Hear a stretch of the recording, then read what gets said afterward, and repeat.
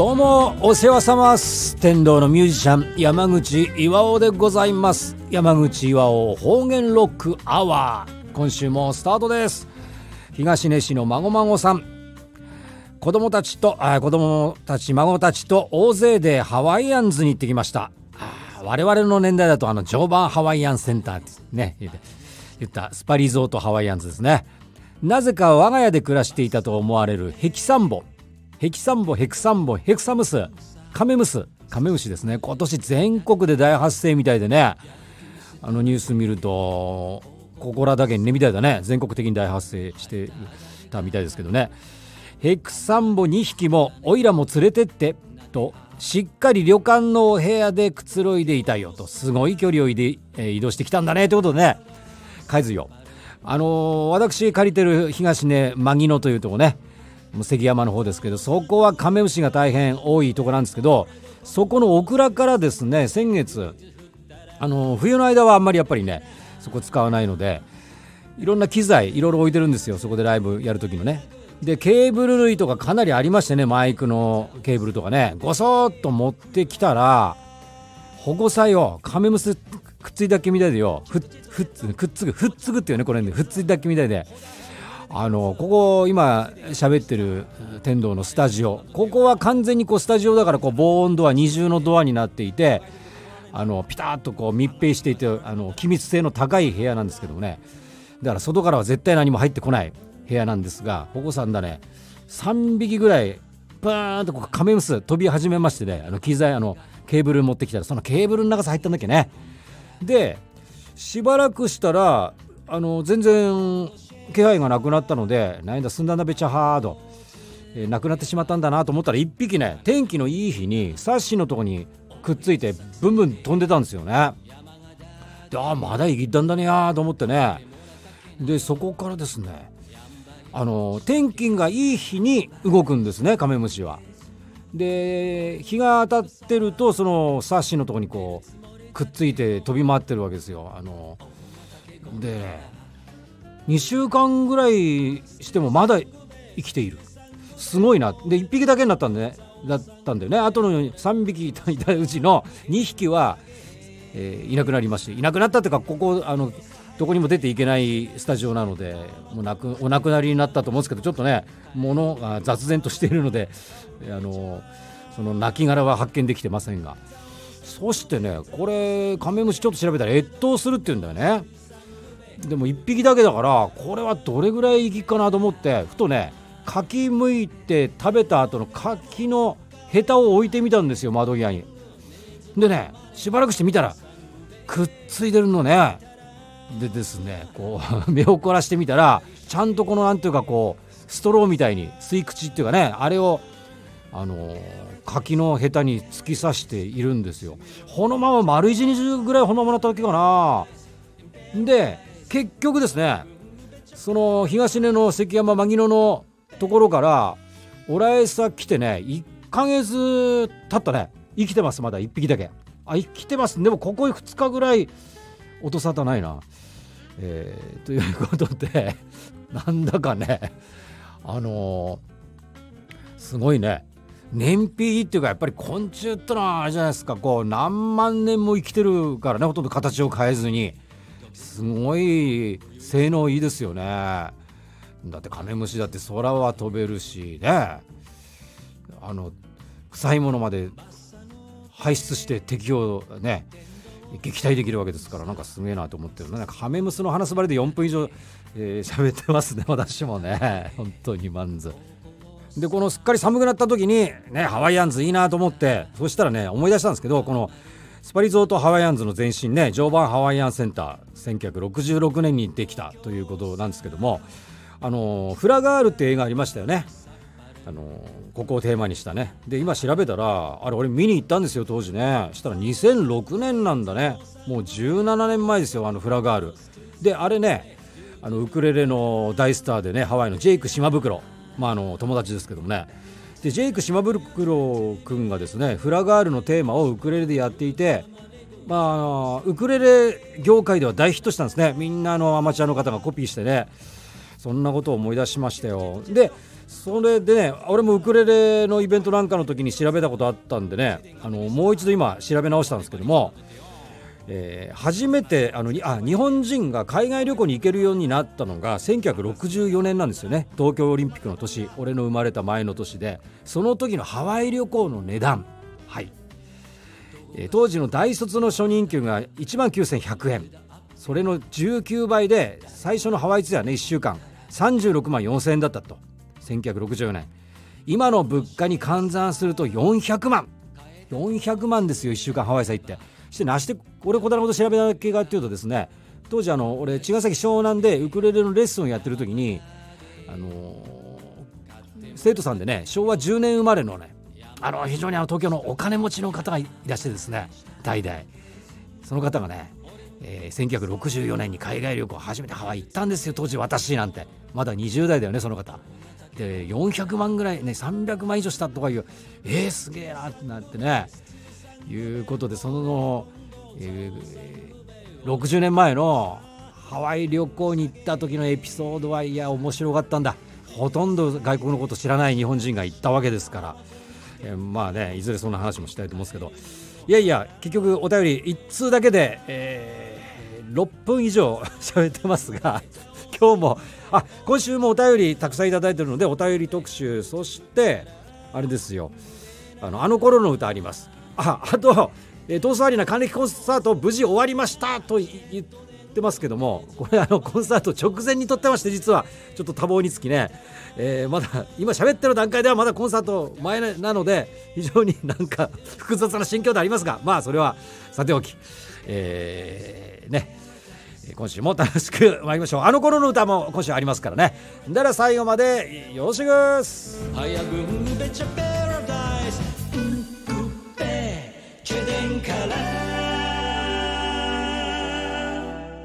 山口岩の方言ロックアワー。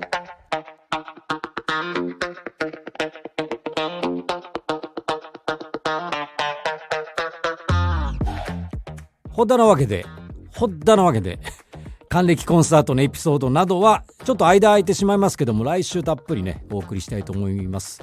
おそらくね来てくださった皆さんからたくさんメッセージもいただいて、えー、ね、エピソード満載でお送りできると思うので、えー、ちょっと待ってってらっしゃい。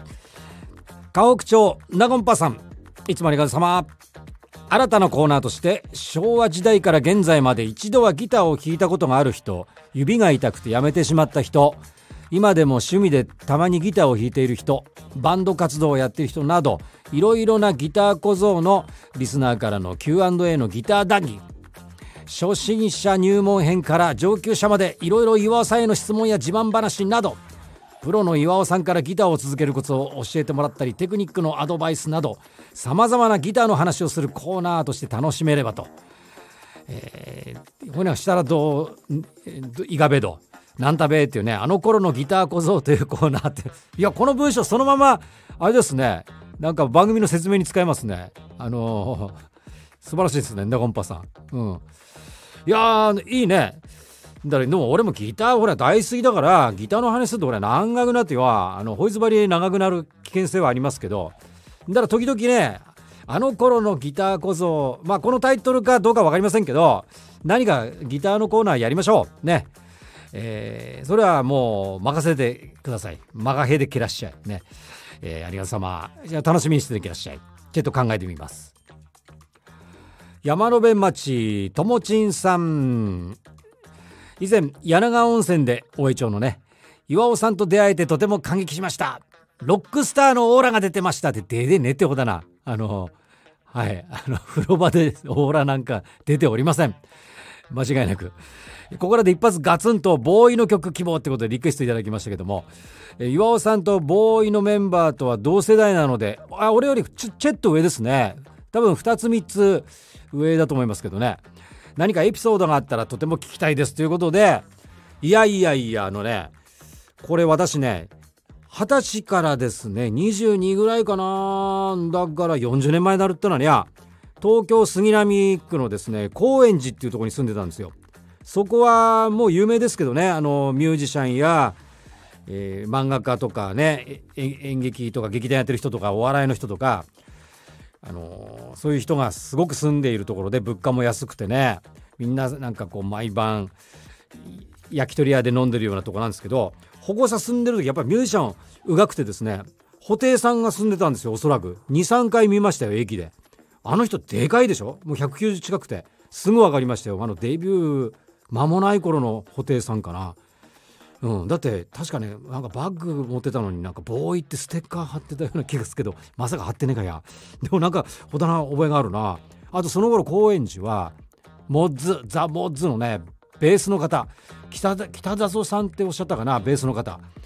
えっ、ー、とねあとはあのアナーキーとはパンクバンドのヘンミさんマリさんっていうえー、愛称のねギタリストの方でしょ。あと誰だけな。結構ミュージシャンの人やっぱりあのパンク系の人多かったね。全然あのお話とかしたことなかったけど当時はもうすでに雑誌とかで知ってたし。まあ髪型と服装とかみんなあのまんま歩いてっからねあの商店街ね、えー、だから布袋さんはあのお見かけしたことが23回、えー、ございます。40年前に。はい、えーと、もちんさん、ちょっとリクエストかけられなくて、だいたい自分の曲でさえかけられねえんだから、最近。1曲かかればいいほども、この番組ね。自分の曲でさえも。はい。ほとんど 喋ってますけど、はい、とてもミュージシャンの番組とは思いませんけどね、えー、ともちんさんまだお便りけてきらっしゃいありがとうございます。山口はお方言ロックアワーお送りしておりますけれども。本来であればね。11月25日26日にトスアリーナホールで行われた私の還暦コンサートね。いやー、いがったっていうね、皆さんありがとうさまでしたっていう話題なんですけどね、えー、いろいろスケジュールの都合もありその還暦コンサートの直前に今週分は収録しておりましてだからよ。いやー終わったってこう今の段階では未来の話をしているんですけどね。まああの番組ってよくありましてね。あの年末にまだ年明けてないのに正月分ねおめでとうございますなんていうねことあるんですけどまあそれは仕方ないということでまあでも入っちゃ入っちゃ勘つけてよ。入っちゃ勘つけてってのはそれにかこつけてここ幸いと。えー、最近たくさんお便りね、あのー、いただいてましてここ1ヶ月分ぐらいのね紹介できなかったメッセージを遡って紹介しております今日はね。なのでちょっと話題がね古かったりもするんですけどもご了承ください。天童市んだんださん。村山市ふるさと産業フェアで一緒に写真撮っていただきありがとうございました。あだねこれも11月の初めのイベントだったんですけどもね。えー、近所の農協のガソリンスタンドを使ってるとか身近な方に思いましたっていうね。いやガソリンといえばね私あの震災の時は神奈川県の川崎市に住んでいたんだけど川崎市でも本当にあのガソリンスタンドがねもうものすごい列になって給油できないということを経験しましたのでねなんかあの給油だね、ま、本当昔だとね本当にギリギリまであの給油しなかったけどあの空になるまであれ以来になり大体半分になるともう給油するんですよね。だからよあのどこでガソリン給油してるっていうのも決まってないっていうかあのねあの高校の山岳部の後輩が店長しているスタンドが天童にあるんですけどもまあここがメインのスタンドではあるんですけどやっぱりねなるべくこう気が付いた時に給油するような、えー、習慣になっておりましてねいろんなところで給油してるんですが、まあ、近所の農協のガソリンスタンドもよく利用しております。あんだね。だとガソリンネタなどなどいつも話したくなることがありましてね。これ番組や SNS なんかでもね何度か触れたんですけどね。この辺特に山形内陸ではガソリンを詰めるという言い方しますね。ガソリンを入れるではなくガソリンを詰めるっていう言い方するんですけどこれねあの県外の方からガソリン詰めるっておかしいんじゃないのなんてよく言われてそうかななんて話聞くんですけどこれ確かにこの辺の言い方ではあって標準語的にはガソリンを入れるっていうんですね。ただあの私もずっとあの営業英語営業じゃない。営業じゃない。英語英語勉強する中であのふと思ったことがあってね英語だと例えば、えー、filling up a car with gasoline とかね putting gasoline in a car なんていう言い方するわけですよ。だプットとかフィルっていうのは、えー、詰める充填するっていうイメージで、えー、なんですかね例えば布団さ和田を詰めるとか、うん、いうことになると空間を満たすというイメージですよね。だとガソリンを詰めるっていうと液体でガソリンと液体でガソリンタンク隙間なく満たすという英語っぽいですね。Filling up car with gasoline みたいな fill えー、という感じですよ。でこれを入れるだとなんかガソリンタンクの中にビー玉みたいなものをポンと入れて振る振るとカラカラカラっていう音が言うような空間に隙間があるイメージがするんですよね。だからよこっからすると詰めるがやっぱりこう動作を表す意味では正確なのではないかという気がするんですね。だから英語でこのフィルアップとか満たすって意味をそのまま例えばプットイントゥなんとかみたいなギャソリンっていうとなんか固体のものをカラカラカラって入れてるような感じ。だだってあのほらえっ、と腸詰めってのあって中華料理で腸に肉を詰める。腸入れとは言わないもんね。だからやっぱりね何でもかんでもあそれは方言だよなんて言うけど本来の、えー、動作を表してるってことはやっぱり動作の動作感に乏しいような気がするんだよね。あの標準語っていうのは。明治時代に東京の、あのー、町言葉を山手の町言葉を中心に明治政府がね作ったと言われておりますからなんかこの動作感に乏しい感じがするんだな。だからよ。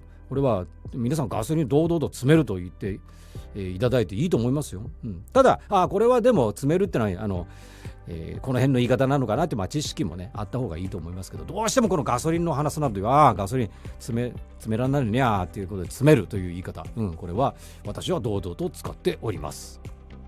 でもう一通ですね村山市の産業祭りに来てくださった村山市のかりんさんからはですね方言ネタ。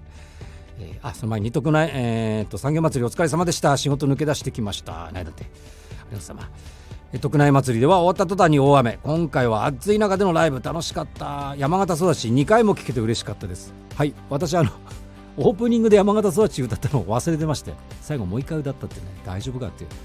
あのイントロ出て歌いながらあれ？これさっきも俺歌ったよなみたいな。あのカラオケで自分で出してますんでねこれあの俺。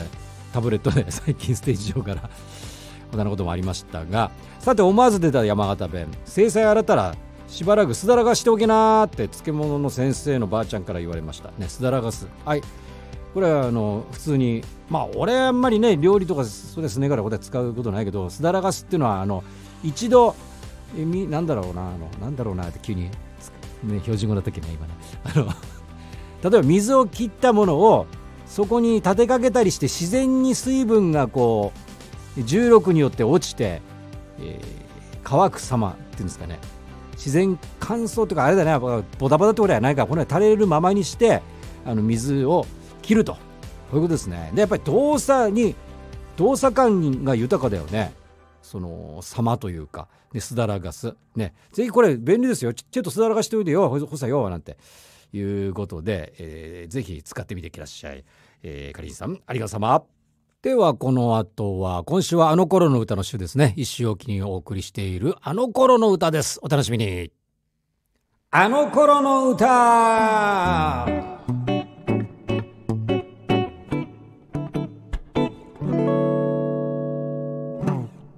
はい、やってまいりました。各週で一週おきにお送りしているあの頃の歌、私山口洋が、えー、一番影響を受けた自分もね中小中高時代昭和です。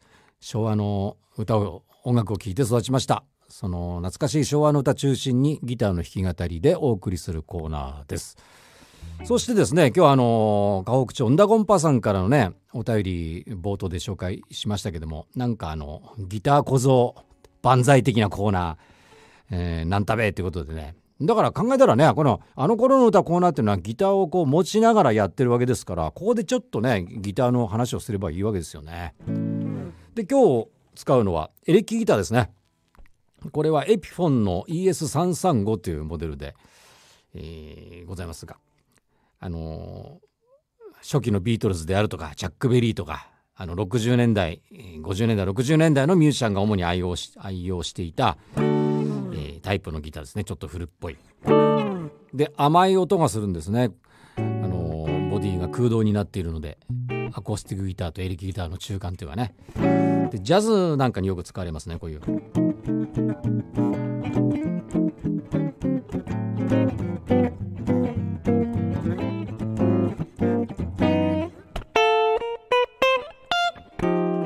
みたいなね。ボサノバにも合うし。あとはチャックベリーとかあのビーチボーイズとかね60年代のサウンドでよく聞かれるこういう音。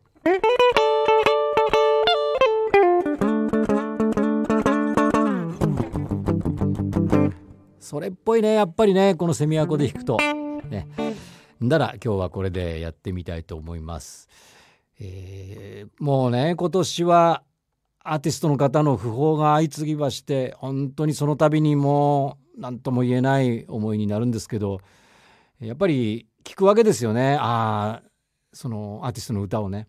だってやっぱり昭和の歌はいいなって改めて思うんですけど今週はまあそういった意味もありましてお亡くなりになりました、素晴らしいシンガー大橋純子さんの「1982年のヒット曲「シルエット・ロマンス」昭和でいうと57年だから俺あれだね。東京さでだと知ったな高校卒業してね。だっけのかあのその年もう42年前ですよ。あれから42年。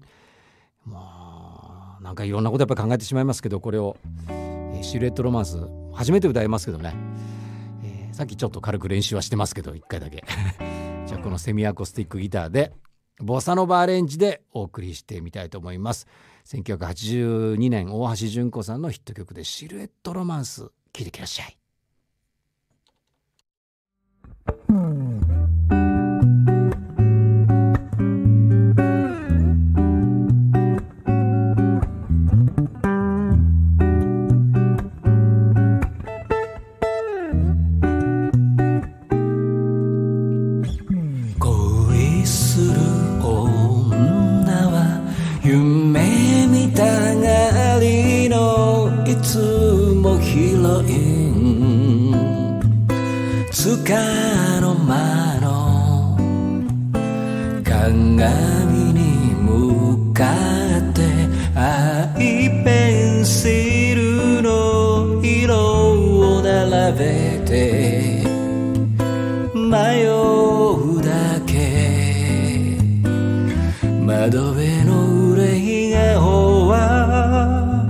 装う女心茜色のセレああなたに恋心盗まれてもっとロマンス私に仕掛けてき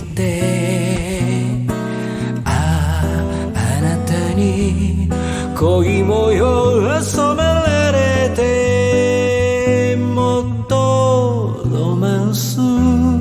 ときめきを止めない。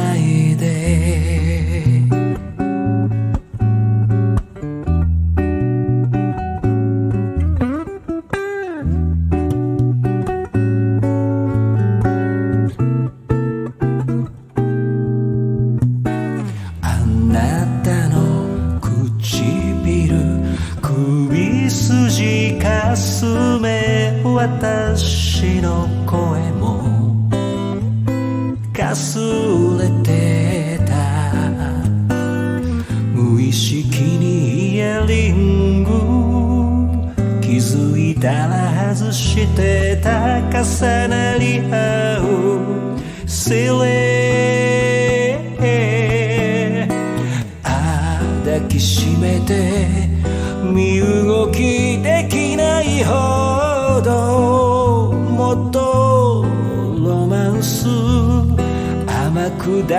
してほし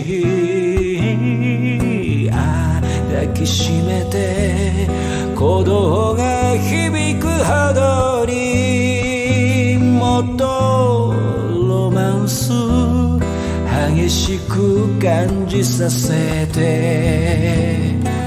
あああなたに恋心盗まれて。私に仕掛けてきて。あああなたに恋模様を染められて。もっとロマンスときめきを止めない。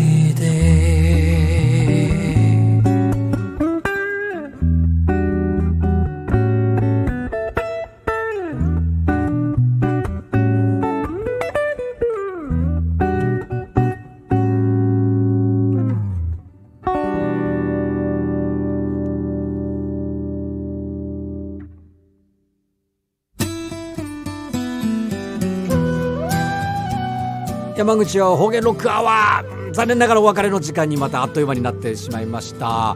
えー、12月いろいろあるんですけどもとりあえず12月2日土曜日村山市商用プラザ夜の図書館コンサートっていうのがあります、えー、また、えー、引き続きいろいろお知らせしていきますね。だら今週も、えー、聞いていただいてありがとうございました。また来週お相手は天童の山口洋でした。お幸せます。